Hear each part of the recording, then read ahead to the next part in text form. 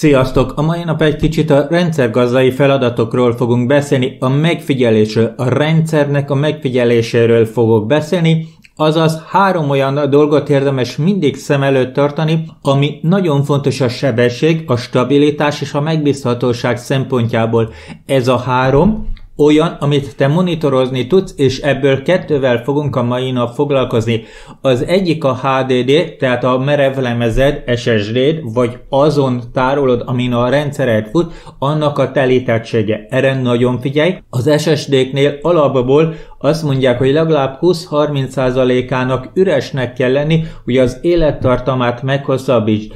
Gyakorlatilag a Linux alatt te le tudod rakni a lemezedet, és akkor nem fog indulni a rendszered. Előfordulhat ilyen, például akkor, hogyha letöltéseket a te rendszerlemezedre teszed, és folyamatosan jönnek le a torrentek, akármilyen letöltések, leállítod a gépet, amikor indítasz, akkor a bejelentkezési képernyő előugrik, majd vissza, dob téged a bejelentkezés után a bejelentkezési képernyőre, azaz nem marad szabad hely a home könyvtáradba, a rendszer könyvtáradba, akkor természetesen nem tud normálisan működni a rendszered. Erre nagyon figyelj, én belefutottam abba, amit előbb említettem, megtelt a rendszerlemezem, azon van a home könyvtár, azon volt a letöltési könyvtár, és utána egy fél órába került, amíg rájöttem, hogy bizony a partícióm tele van, nem tudok dolgozni, azért nem tudok belépni, nem azért, mert rossz, vagy hibás a jelszó, amit megadtam, hiszen állandóan ugyanazt a jelszót használom, két-három hetes váltással,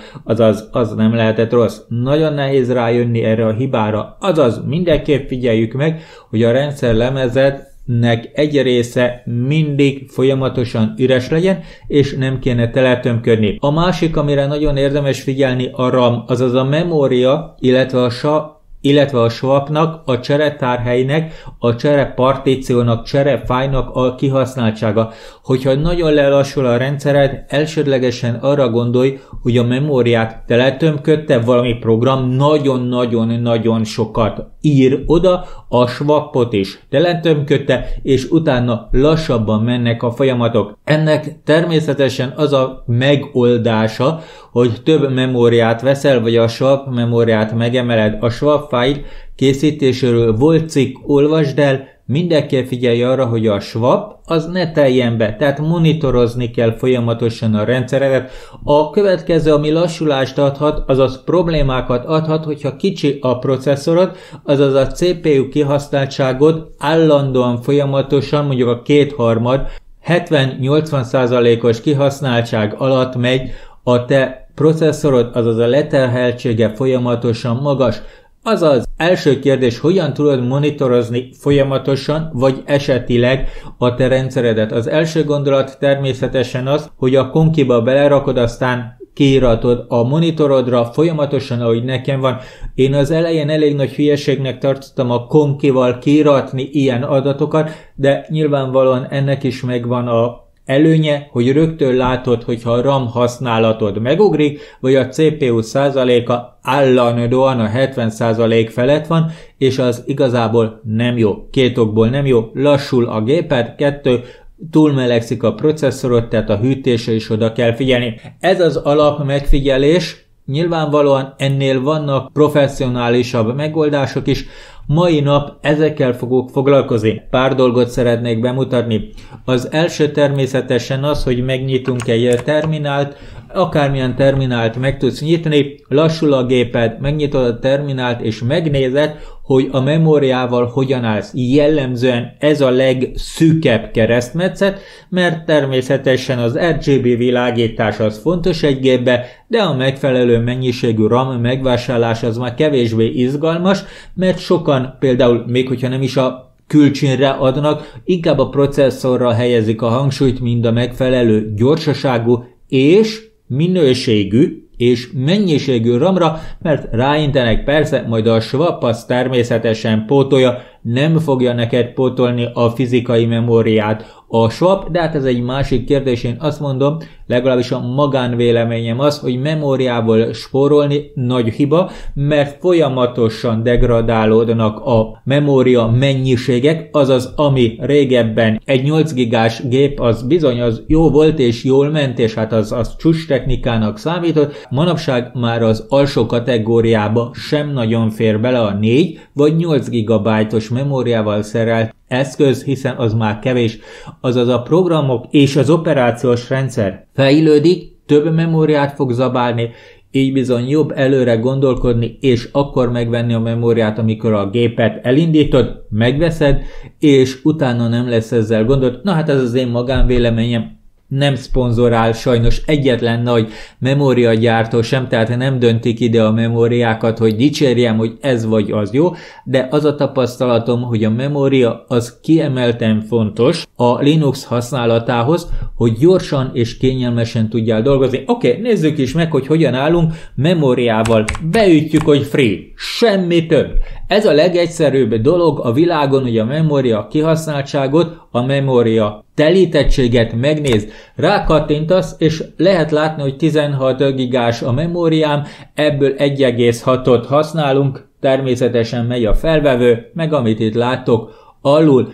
A következő, ami sokaknak furcsa lehet, és nem kell megijedni, hogy a 15-16 gigából 1,6-ot használunk, aztán itt azt lehet látni, hogy 1,2 a free, a szabad. A memória felhasználás nagyjából úgy működik, hogy van neked egy memóriád, nekem 16 giga van, abból felhasznál a futóprogram együttes összességében 1,6-ot.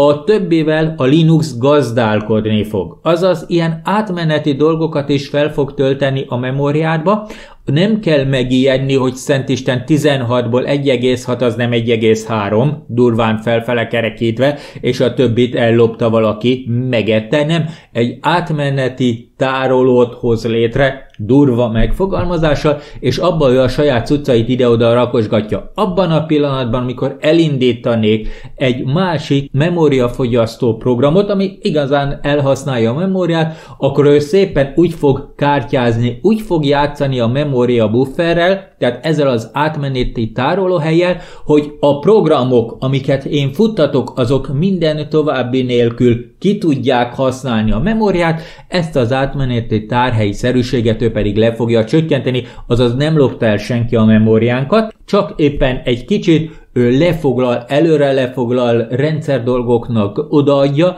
odáig fogja ezt így tologatni, amíg te el nem indítasz egy programot, aminek kell a fizikai memória, és utána ő a továbbiakat ő saját maga fogja rendezni, azaz gyakorlatilag nem fognak eltűnni a free az üres memóriák, hanem inkább a free, a szabad helyet, így nézegessük az elérhető, pluszban még elérhető 13,9-es memóriát, Azaz, az azt jelenti, hogy ennyi még elérhető, de ő éppen közben még le is foglalt magának ebből egy csomót, de vissza fogja nekünk adni. A swap, a swap egy átmeneti tárhely, egy memória portló eszköz. Nyilvánvalóan mindenki sejti, hogy a leggyorsabb eszközünk a memória, és utána jönnek a merev lemezek, SSD-k, egyebek. Annak a sebessége adott azaz lényegesen kisebb sebességű memória pótlékot kapsz a swappal, de gyakorlatilag swap nélkül nem biztos, hogy érdemes egy Linuxot feltenni, mert időnként hozzá kell nyúlni, hogyha nagyon-nagyon sok olyan program fut, ami a memóriát, a fizikai memóriát teljesen elfogyasza, és akkor egy-két dolgot áttesz a merevelemezre, a swap fájba, swap partícióra, és utána természetesen, amikor a te memóriafogyasztásod lecsökken, akkor azokat meg visszapakolja a fizikai memóriába. Tehát nagyon jó és kényelmes, és igazából hozzá nem kell nyúlni a memória gazdálkodáshoz, de mindenképp tud, hogyha a felhasznált nagyon megközelíti a totált, és az elérhető, elérhető nem a free, hanem az elérhető memóriád nagyon-nagyon lecsökken, akkor neked el kell gondolkodni, hogy vagy programokat bezársz, vagy teszel bele még egy kis memóriát, arra nagyon figyelj, ha memória kihasználtságot, amit mondtam, nagyon-nagyon magas, folyamatos, normál munkával, akkor azért jobb, hogyha egy kicsit sporeszolunk, és veszünk egy-egy memória blokkot hozzá, nyilvánvalóan párosával, nyilvánvalóan ugyanolyan típust, minőséget, ha lehet pontosan ugyanolyat, amit az alaplapod elbír és elvár, illetve ami már a gépedben van, és akkor nem lesznek gondok, Azaz, bármikor le tudod hívni a memória elhasználtságodat, memória felhasználásodat, és meg kell nézni. Nem akkor kell megnézni, bár én azt mondtam, hogy lelassul a gép, akkor indítjuk a free programot, nem. Amikor nagyjából beállsz egy munkafolyamatra, amit naponta ismételgetsz és használsz, akkor indíts el egy free programot, és megnézd azt, hogy hát úgy általában mennyi a normál kihasználtságod. Nyilvánvalóan és logikus elgondolás az, hogy a túlzott memóriafogyasztás az egy relatív dolog. Nyilvánvalóan a normálhoz képest túlzott, és akkor, hogyha nem tudod a normát, azaz a napi munkafolyamatban mennyi fogy el, mennyit használsz, akkor nem tudod hasonlítani. Azaz, mindig légy tisztába azzal, hogy mennyi a te normál termelési ütemedhez, feladataidhoz, programjaidhoz a memóriafogyasztás, és ha a fölé megy és általad nem látható ok miatt, akkor kezdj el gyanakodni arra, hogy valami program beragad, valami program ott van és megeszi a memóriádat. Azaz, hát van egy alapállapotunk, nekem ez a két-három gigabájtos alaphasználat az egy természetes használat, de amikor már elmegy 10 fölé, és nem én indítottam olyan programokat, videóvágást, renderelést, egyebet, ami ez indokolná, akkor természetesen elkezdek kutakodni azon terület mentén, hogy bizony-bizony, hát kiette meg az én memóriámat, és előfordulnak beragadt processzek, beragadt feladatok, beragadt programok, és azokat le kell gyilkolni, azaz ki kell őket venni a folyamatból, hogy ne fogyasszák feleslegesen a memóriámat. A másik gondolat az, hogy nyilvánvalóan jó-jó, szép, hát most a memóriát megnéztük, de azért jó lenne a processzor fogyasztásunkat is megnézni, és azért jobb lenne, hogyha folyamatosabb, grafikusabb megoldásokat kapnánk, azaz valahogy egy kicsit kényelmesebbé kellene tenni ezt a tevékenységet. Azaz a top nem, nem a topot fogjuk használni, hanem a H-top nevű programot. H-top. Ez a kedvencem, ilyen top programból, tehát ilyen kírogatós, rendszermonitorozós programból van vagy négy-öt féle, próbálj ki bármelyiket, amelyik neked tetszik, és utána maradj meg annál, amelyik éppen neked kényelmes. Nekem a hátoppa kényelmes.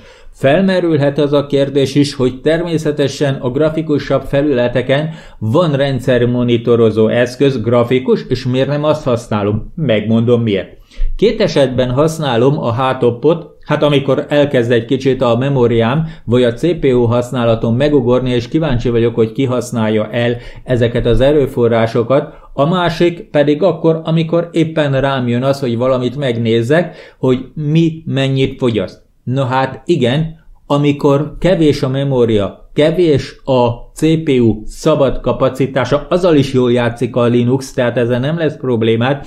Ha van egy hatmagos rendszered, akkor természetesen ő úgy fogja elosztani, ha tudja, és a programok képesek rá a CPU erőforrásokat, hogy mindenkinek jusson és minden működjön, és nem lesz ezzel neked gondod, de azért eljuthatunk odáig, hogy kitoljuk a határokat majdnem a szakadék széléig, és lelassul a rendszerünk. Ilyenkor elindítasz egy grafikus felületű programot, aminek nagy az erőforrás igénye a hátophoz képest, akkor még ráteszel erre a killódó folyamatra még egy kicsit, és bizony akkor akkor, akkor még őnek is az erőforrás igényeit is látod. Tehát amikor kevés erőforrásod van, kevés marad, és akkor még egy monitorozó programot elindítasz, hát az bizony nem egy olyan kényelmes dolog, ha annak nagy az erőforrás igénye, és én azt tapasztaltam, hogy a hátop az ilyenkor könnyen és professzionálisan elindul, nem fogja még jobban leterhelni a gépünket, tehát hátop, minden kapcsoló nélkül. Természetesen a hátopnak, a Free-nek és az összes bemutatott programnak nagyon jó a manuálja, a helpje, rengeteg leírás van, én is készítek, illetve készítettem már cikkeket ebben a témában, illetve lent ott a leírásban bent van ehhez tartozó, konkrétan ehhez a videóhoz tartozó leírás, és azaz nem csak ennyit tudnak, meg azért a finomságokra nem nagyon tudtam kitérni. Na, lényeg az, elindítottuk a hátopot nagyon szép és megosztott képernyőt kapunk, ami nekem nagyon kedvencem, az, hogy itt alul megvannak azok a gomboknak a leírása, ugyanúgy, mint egy-két terminálus programba, például a Nanoba, vagy az MC Editbe, itt alul ott vannak a gombok, és akkor rá van írva, hogy mit lehet velük csinálni, azaz nem kell állandóan a helpet bújnom, nem kell megjegyeznem a kapcsolókat, hanem gombnyomással tudom vezérelni, tudom finomítani a lekérdezett dolgokat, illetve azért szeretem a hátopot, mert nagyon jól konfigurálható, azt mutatja, ami nekem kell. És más nem. Tehát be tudod állítani, hogy mit mutasson. Oké, okay, nézzük is meg, hogy mit mutasson ez a rendszer, mi az, ami számunkra érdekes. Nyilvánvalóan a memória és a swap használatát látod. Az, hogy a zöld a kék és ez a hát barnás szín mit jelent, az jelen pillanatban nem nagyon érdekes, de ha megnyomjuk az F1-es gombot, itt szépen leírja, hogy mi az, ami számunkra azok a színek mutatják. A swapnál megírja, a memóriánál a báron megírja, leírja szépen, hogy a kék, a zöld, a piros, illetve a halvány cián kékes a színű az mit jelent, illetve a százalékokat is megmutatja. Ez számunkra nagyon jó. Azaz, ad egy kis helpet, hát bizony ezeket érdemes megnézni, de egy gomnyomással le tudod kérdezni. Azaz, lehet látni, hogy a memória mennyit fogyaszt, lehet látni, hogy a swapot éppen nem használunk, Fent pedig mutatja számunkra az, hogy mennyire vannak a CPU magok, tehát a processzor magok kihasználva. Nyilvánvalóan itt lehet látni, hogy alacsony kihasználtság van, 6 mag, 12 szál, ami mindegyikre külön-külön kírja. Látható egyéb kiírások is, ami hát változtatható. Kettő olyan dolog, ami mindenképp fent legyen, a memória és a swap, ez nálam egy, hiszen a kettőnek a funkciója ugyanaz, illetve a CPU-nak a leterheltsége, hogy lásd, ha te azt látod, hogy a memória fogyasztásod megugrik, meg megugrik a CPU-nak a fogyasztása, azaz felmegy mondjuk a 70-80% fölé az összes magon, nem az jelenti, hogy ha van neked 12 szálad, és egy az kiugrik 100%-hoz, és utána fél másodperc múlva a másik kiugrik 100%-hoz, és visszamegy a normál 8-10%-os terheltséghez, hanem az, ha az összes mag kilöködik a 80-90-70 százalékos terheltséghez, akkor érdemes a hőfokot is megnézni. Mindenképp gondolj arra, hogyha nagyon leterheled a gépedet, akár a videokártyádat, akár természetesen a processzorodat, akár a memóriádat, akár a merevlemezedet, azok is tudnak melegedni, akkor azoknak a hőfokát érdemes megnézni. Gyakorlatilag jelen pillanatban a processzorról beszélünk. A legegyszerűbben a leterhelt processzornak a hőfokát hogyan tudjuk megnézni? Elindítjuk, mit? Természetesen a Sensors lekérés Sensors, és elindul. Láthatóan kírja a leolvasható ismétlem, a leolvasható adatokat, mert nem minden alaplap, nem minden processzor, nem minden merevlemez, nem minden eszköz támogatja ennek a leolvasását. Van, ami igen, van, ami nem, van, amelyikben még szonda sincs, tehát olyasmit nem akarunk leolvasni, ami ez nincs szonda. Mit látunk itt? 36 fok környékén van, 37 fok környékén van a hőfok, ez teljesen normális. Azaz a következő gondolat, Természetesen, ha magas a leterheltség, megnézzük mit? A hőfokot. Ezt mindenképp tedd meg, mert a pici gyári hűtőt tettél rá a processzorodra, és hát esetlegesen alul kalibráltad, akár azért, mert jó az, amit hozzáadtak, aztán túlhúztad a processzorodat, és mégse nagyon jó annak a hűtése, tehát legyünk annyira óvatosak, hogy a processzor Hőfokát időnként, ha le van terhelve, lekérdezzük, mert nem tesz jót a magnak, hogy hogyha nagyon sokáig nagyon magas hőfokon megy, tönkre fog menni a processzor hamarabb, mint amennyi az életciklusa. Azaz érdemes időnként monitorozni, hogy hogyha le van terhelve a rendszered. A következő gondolat nyilvánvalóan, hogy hogyha jól le van terhelve a rendszered, akkor nem feltétlenül jó, hogy leolvasod, és utána fél perc múlva már igazából megváltozhat a hőfokod, mindenképp használni érdemes az alábbi parancsot, illetve annak különböző megoldását. Beütöd, hogy vagy, kötőjel n, és utána teszel egy 0,1-et, egyet, akármennyit. Ez a kötőjel n 0,1 azt jelenti, hogy egy tized másodpercenként lekérdezi folyamatosan a sensors adatokat, így tudsz ciklikusan futtatni programot, a free is futtathatod így, hogyha arra vagy kíváncsi, azaz a Watch program elindításával és a szenzor együttes elindításával egy tized másodpercenként ezzel a beállítással természetesen le tudsz olvasni mindent. Lehet látni, hogy folyamatosan változnak az értékek, folyamatosan változnak az adott hőfokok, és így monitorozni tudod folyamatosan. Nyilvánvalóan nem akkor, amikor van ilyen 2-3-6 százalékos leterheltség, és aztán igazából semmi nem fut, csak a rögzítés, hanem esetlegesen a többi egyéb program, mondjuk renderelésnél Érdemes megnézni, hogy meddig nyomja ki a renderelő program mondjuk a KDN Live, vagy a Blender a processzort, a memóriát, mert ez is nagyon fontos,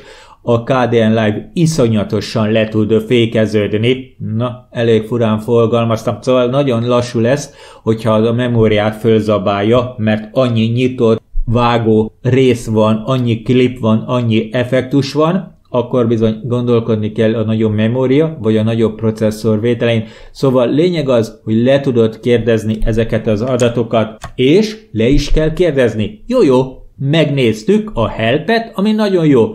Itt van a helpünk, megnéztük azt, hogy hát itt fönt ki mit és hogyan jelez, mit érdemes tudni a CPU-ról, a memóriáról, hogy mennyi task fut, illetve az uptime látható volt egy újraindításom menet közben, mert több részletbe veszem fel a videót, láthatóan a memória is összeesett, mert nem indítottam el a Messenger-t, nem indítottam el a Discordot, meg egyéb, tehát ezért oda érdemes figyelni ezekre is, Gondolom mindenkinek feltűnt, hogy ez a csik az a rövidebb lett, illetve észre lehetett venni, hogy alul kevesebb dolog fut. Na, lényeg az, oké, okay, mit tud még ez az eszköz? Az összes futó programot, processzet kiírja neked ide. Oké, okay, látod, hogy a rögzítő, a transmisszió, a pickom, meg mindenféle egyéb dolog fut. Ez igazából jó dolog, mert látod azokat a programokat, amik futnak, és hogyha kiderül, hogy éppen valamit nem te indítottál, vagy indítottál, de leállítottad, és mégsem állt le, és használja az erőforrás. Tehát ilyen dolgokat lehet itten kifigyelgetni mert erre való. Oké, okay, nagyon-nagyon szép dolog, de igazából maradjunk annyiba, hogy amikor itt ugrál, nem olyan kényelmes. Erre rájöttek a készítők is, van egy search, azaz keresés, tehát hogyha egy processzet szeretnél megkeresni név szerint, az F3-assal meg fogod tudni tenni, nyilvánvalóan egy kereső funkciót elindítani, nem fogom bemutatni.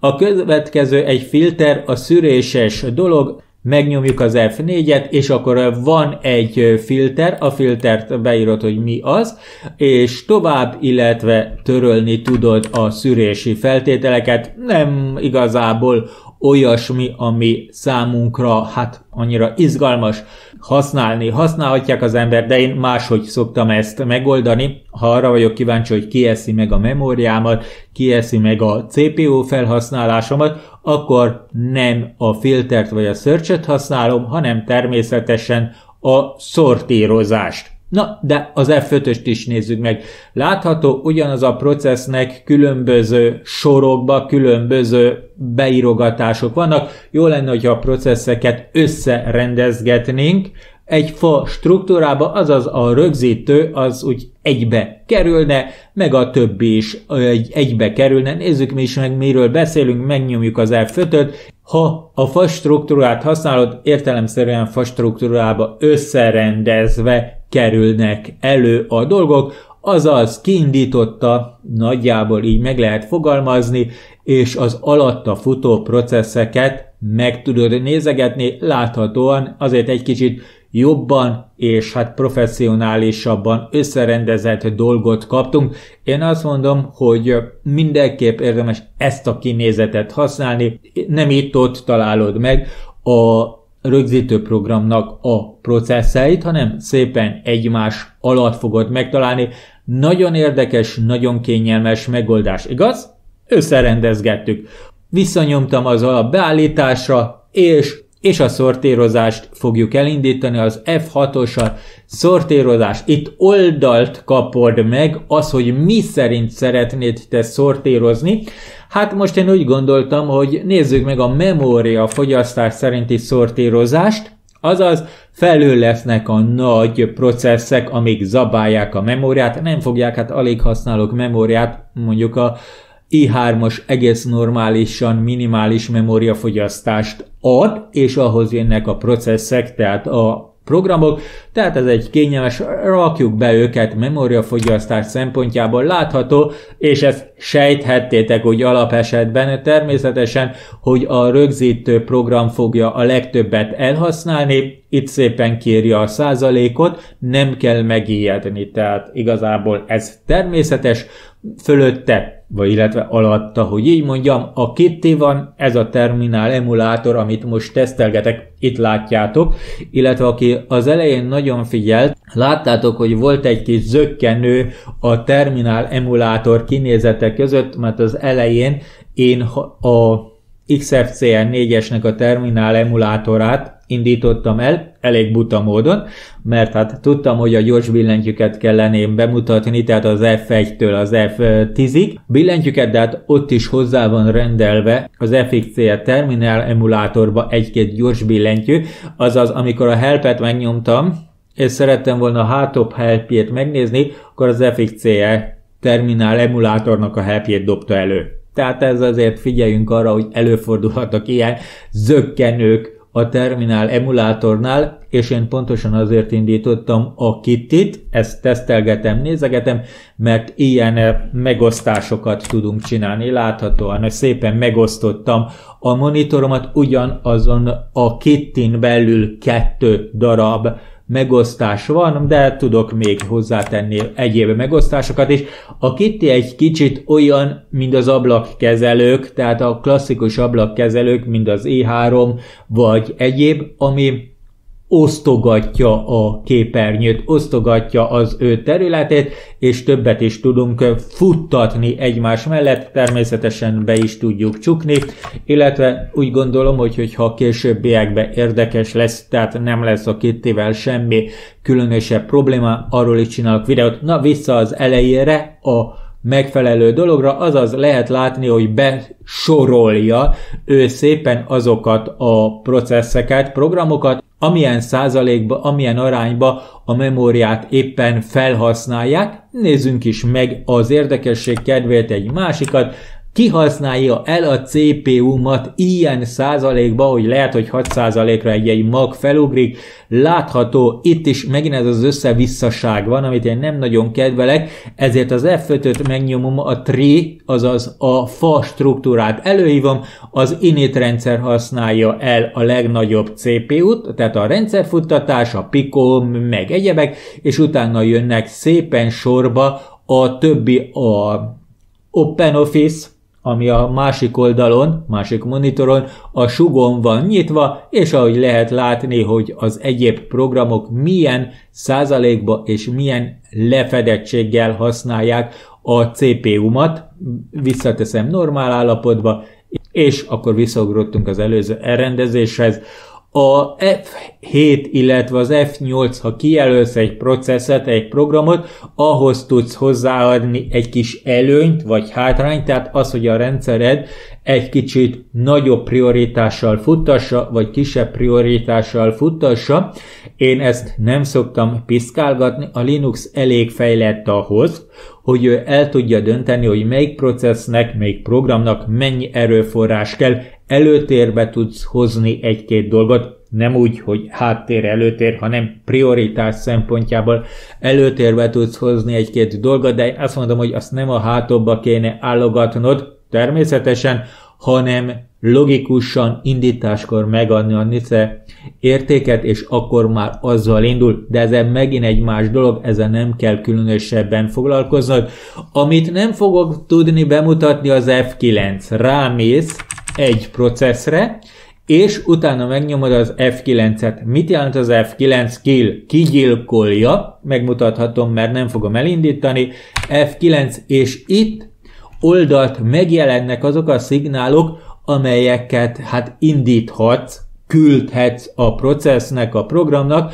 Általában az F9-et szoktuk kiküldeni, az aztán legyilkolja a processzet, de igazából nagyon-nagyon sok szikterm és egyéb beállításos gondolatok vannak. Ezek nézz utána, hogy mit jelent. Ha éppen nem akarsz utána nézni, a 9-essel legyilkolod teljesen, tehát az fogod, aztán szíven szúrod a processzet, az mindenképp le fog állni, ezzel nem lesz különösebb gondod, illetve a szikterm az pedig egy normálisabb leállítási lehetőség. Nyilvánvalóan én a nullát fogom most kiválasztani, fölmegyek fölfele billentyűvel, nyilacskával, a kilépéshez, mármint ebből a lehetőségből való kilépéshez, azaz, hogyha látod, hogy egy olyan program van, amit te nem szeretnél futtatni, és le akarod állítani, de hiába próbálod normál módon leállítani a programot, a hátop elindítása után megnézed, hogy valóban fut-e, és le tudod gyilkolni az F9 kill parancsal, illetve a megfelelő jelzés, a 9-es vagy a 15-ös elegendő szokott lenni, azzal le tudod állítani az adott programot. Oké, okay. tehát nem csak arra való ez az egész hátop, hogy kijelezze, hogy ennyi memóriát, meg ennyi akármit használsz, arra is nagyon jó, de tudod adminisztrálni, megnézni pontosan, hogy egy processz, egy program mennyi memóriát használ el, milyen a viszonyulása a CPU-hoz, szétzabálja a processzorodat, és az foglalja le az előforrásokat, vagy éppen mennyi memóriát használ, úgy sorrendezed be, ahogy akarod, a sort B, azaz F6-os gombbal, ahogy neked tetszik. Tehát megnézheted és ellenőrizheted, hogy mi az, ami fut, mi az, ami fut, mert előfordult velem, én mindig magammal példálozok, mind aki elbaltázott valamit, előfordult velem az, hogy beállítottam automata indításhoz valamit, és utána, hát időnként lelassult a gép. Én elfeledkeztem, mivel hogy nem indított grafikus részt, csak háttérbe futó folyamat volt, elfeledkeztem arról, hogy az naponta leszkenneli a programokat, a könyvtárakat, a file és időnként lelassult valami ok nélkül, a gép ok nélkül, amiről én nem tudtam. Amikor elindítottam a hátopot, láttam, hogy ez az Albert nevű gyorsindító kütyű, az bizony hát száz százalékra nyomja ki a memóriát, majdnem elfogyott az összes, még a swabba is belekavart, és fut az összes processzor magon olyan 70-80-90 százalékkal. Azaz erre figyeljünk, hogy esetlegesen ilyen elindítottam valamikor egy programot jónak tűnt, és kiderült, hogy mégsem nem annyira jó. Ennek a felderítésére is nagyon alkalmatos ez a rendszer. A következő gondolat nyilvánvalóan az F10 kilépek a hátobból, nem lépek ki jelenleg a hátobból, de egyébként mindig használjuk az F10 kilépést. Tehát, hogyha van egy normál kilépési mód a terminálos programból, normál lezárásos mód a terminálos programba, akkor azt használjuk, ne a terminált csapjuk be, mind az ajtót, mert esetleg hát marad háttérbe futó akármi, és igazából nem túl hát nem túl jó dolog az, amikor mindenféle cuccok futnak, annélkül, hogy hát normálisan leállítottad volna. A következő gondolat az F2, a beállítás. Ahogy lehet látni, be tudod állítani, hogy mi, hogyan, fog megjelenni. Az oszlopokat be tudod állítani, mi jelenjen meg, mi ne jelenjen meg. Az aktív, az aktív, és itt átmész az elérhetőhöz, és akkor az uptime-ot be tudod állítani, és akkor az uptime is meg fog jelenni az oszlopok között. Igazából minden, minden olyan beállított értéket le tudsz kérdezni, ami érdekes lehet. Arra tudod szabni a kinézetet, amilyenre neked kell. A következő gondolat természetesen az, hogy egérrel is tudunk állogatni. Ide tegyük be a host német, jó? Tehát ide lemegyünk, host name, és enter és akkor megjelent a hostname is, mint kiírás, de akármilyen dátumot is be tudsz oda tenni, megjelenik a dátum. Olyan beállítást raksz össze, ami számodra fontos. Nyilván nekem a dátum, a hostname, az uptime, az nem kell, így bizony a del gombbal tudod törölgetni azokat a beállításokat, mindig ami ki van jelölve, azt tudod törölgetni, hogy úgy nézzen ki, és kényelmes legyen számodra a kinézet. Arra mindig figyelj nagyon, hogy alul változik a kiírás, tehát hogy melyik gombbal mit változtathatsz, mit tud csinálni, mi a törlési gomb, tehát gyakorlatilag minden kiírásra kerül, és segítséget fog nyújtani. Azaz a hátop egyrészt jó, pontos, testre szabható, és úgy tudod beállítani, úgy tudsz variálni mindennel, ahogy éppen neked szükséges. Miután beállítottad, az F10-zel kilépünk a beállításból, és utána azt a kinézetet kapod, ami számodra fontos. Nagyjából együtt tudtam elmondani a hátopról, egy kicsit hosszadalmas lett, de én úgy gondolom, hogy érdemes megtanulni a free parancs használatát, elindítod, aztán megnézed, hogy hogyan áll a memóriát. Megnéztük a szenzorok lehívását is, ami eltérhet rendszerenként, az én rendszerem eléggé egyszerű alaplapon van, relatív egyszerű alaplapon van, ezeket a szenzorokat tudom lekérdezni, nyilván neked másik. Megnéztük a watch parancsot, ami ciklikusan újra és újra és újra elindítja a megadott parancsot, a szenzornál megnéztük, hogy bizony a szenzor lekérdezése milyen szépen változtatja a watch parancs kiegészítésével az értékeket, tehát real time-ba is tudod nézegetni. Megnéztük a hátopot, ami egy nagyon-nagyon jó kijelző rendszer, gyakorlatilag én a CPU, a memória és egyéb processzeknek a monitorozására, erőforrás figyelésére szoktam használni, ha beragadt processz van, tehát beragadt program, amit nem tudtál megölni, nem tudtál lezárni, ezen keresztül is le tudod zárni, le tudod gyilkolni, megmutattam, és ami nagyon tetszik benne, nagyon jól beállítható, Testre szabhatóság mindig nagyon fontos, mert azt látom, ami nekem kell. Látom, hogy mennyi az uptime, mióta fut egy program, programrész vagy processz, hogy mi a PDE a jelzése, a user kiindított én vagy a root indította, a prioritását is meg tudom nézni, hogyha éppen érdekel, a CPU használatot is le tudom kérdezni, a memória használatot is le tudom kérdezni,